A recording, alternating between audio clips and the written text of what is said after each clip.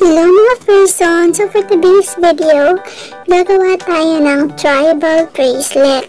So ito yung mga kailangan natin. Itong tribal beads at ang ating elastic cord.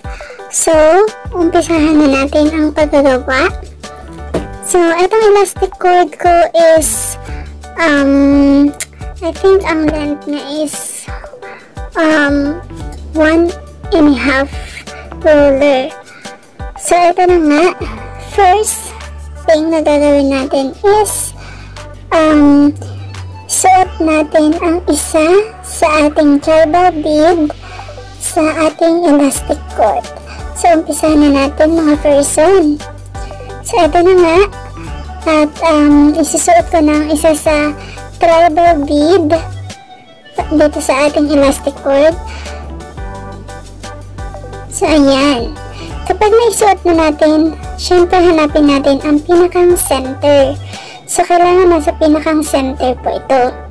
Sa pinakang gitna ng ating elastic cord. So, ayan. Ito na nga at nasa gitna na ang ating tribal beads. So, next na natin gagawin is ilagay na natin ang susunod na beads. So, ayan. Ganito po mga person. Okay. Gayahin niyo lang po itong aking ginagawa.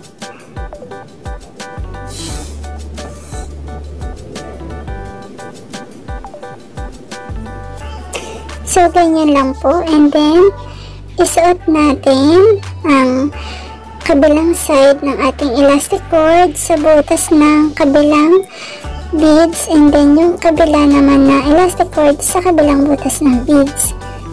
So, ganyan po ang kalalabsan ng ating um, pagsisimula ng pagbibiding. And then, ulitin lang po natin ang ating unang process hanggang makarating tayo sa pinakang dulo. So, ganito po ang magiging itsura. So, ayan. Repeat lang po natin hanggang pinakang dulo. Repeat process lang po. So, wala po akong kulay black na elastic cord, kaya ito ang aking nagamit, ang kulay white. Pero mas maganda pong tingnan kapag ang ginamit nyo dito is color black. Pero syempre po, depende pa rin po yan sa inyong magiging customer. Kung ano ang gusto niyang kulay ng elastic cord, kung white ba or black. Pero para sa akin, mas prefer ko ang kulay na black. Pero nagkataon lang talaga na wala ako ng color black. So ito nang ginamit ko, ang white elastic cord. So ayun po, ituloy-tuloy lang po ang pagbibiding hanggang pinakandulo. So, ito nga po palang pagbibiding is uh, base sa aking mga na-research is napakaganda daw po nito kapag meron tayong suot. Kasi, nade-develop ang ating skills and then, maganda rin ang magiging effect nito sa ating health. So, ayan, itong bead po is para naging lucky charm po natin. So, ito naman po is mga belief. So, nasa sa inyo po kung kayo maniniwala. But, kung talaga naniniwala kayo sa mga charms, so, try nyo rin po magsuot ng mga ganitong klase ng uh, mga beads. So, ayan. Ito na nga po, nangangalahati na tayo sa ating pagbibiding. So, idere-diretso lang po natin hanggang sa pinakang dulo. So, wag po kayong aalis dyan kasi napaka-importante po yung pinakang last part nito.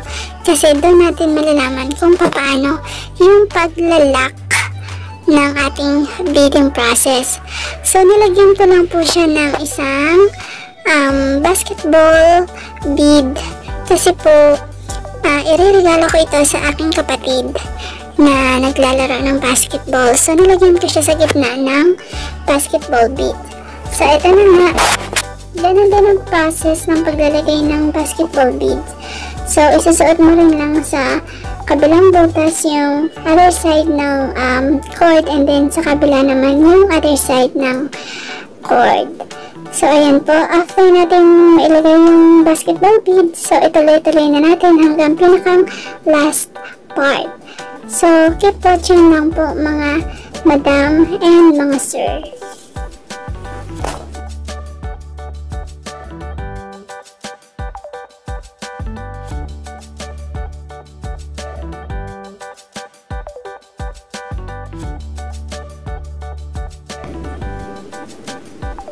So, bibilang ko po para pantay po ang aking maging bilang dun sa other side nitong aking basketball beads.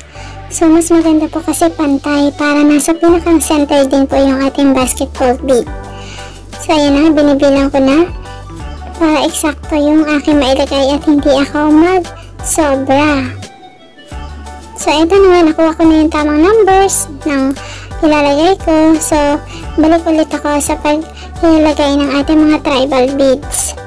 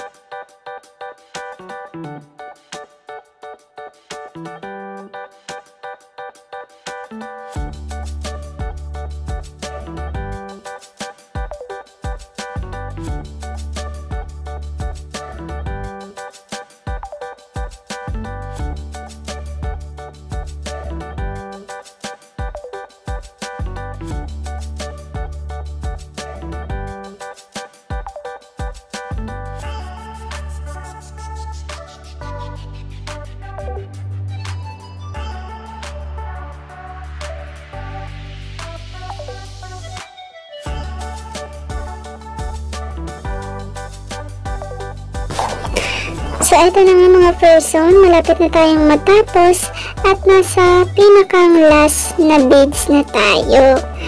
So, ayan, nailagay ko na po lahat ng ating mga tribal beads. So, ganito po ang process ng paglalak. So, hanapin nyo yung pinakaunang beads na ginawa nyo. And then, idikit nyo po sa pinakang last beads na ginawa. So, ayan, ganito po.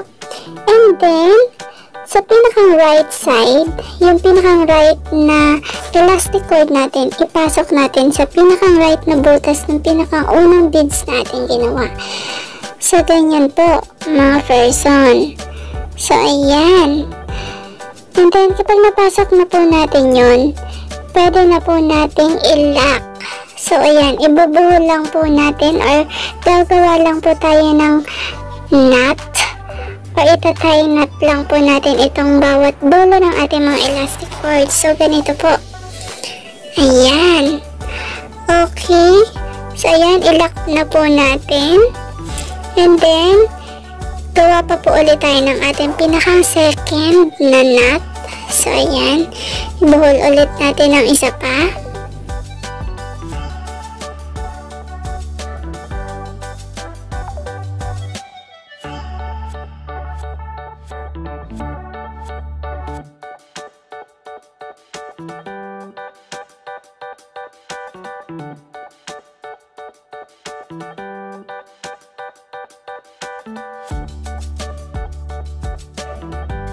Ayan, titesting ko muna sa aking kamay kung maganda ba. So, ayan, maganda. Medyo maluag na sa akin kasi yung pagbibigyan kong kapatid ko nito is medyo mas mataba sa akin. So, ayan, kaya mas malaki po siya sa aking mga kamay. So, ayan na nga po mga person. And, okay na siya.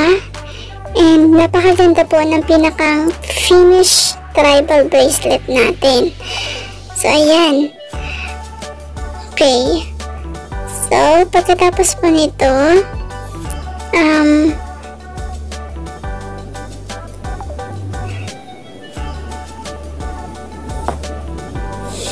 So, ayan, binubulo ko pa siya ulit ng isa. Then, ibubulo ko pa talaga siya ng isa para talagang malak na malak siya. And, make sure po natin na napakahigpit ng ating pagkakatali. And then, kapag okay na po yung ating ginawang uh, knot, so, this time, gugupitin na po natin yung pinakang sobra nating elastic cord. So, ayan. Gupitin na po natin. So, mag-iwan po kayo ng kaunting pasobra kasi susunugin natin ito ng lighter para hindi po mag um, sira yung ating pinakang lock. So, ayan ang mga person. Tingnan nyo, super ganda ng ating tribal bracelet. So, kuha na tayo ng lighter. And, sunugin po natin yung pinakang dulo or yung sobra na ginawa natin kanina. So, ayan na nga mga person. Ito na, susunugin na natin para malak na talaga siya ng kusa. So, ayan. And then, press-press lang natin. So, ayan, mga person. Okay na po siya. So, yan, super ganda po ng ating tribal bracelet. So, pwede po kayong magpa-customize nito. And, pwede rin po kayong um, mag-avail nito sa aking Shopee store. So, ililink ko lang po down below on my description box makaka-avail at makakapag-order nito. So, pwede rin po kayo magpa-personalize ng inyong mga letters kung gusto po ninyo. So, mag-message lang po sa kayo sa aking shop. So, again, maraming maraming salamat po sa panonood. God bless you mga person. See you on my next one. Bye!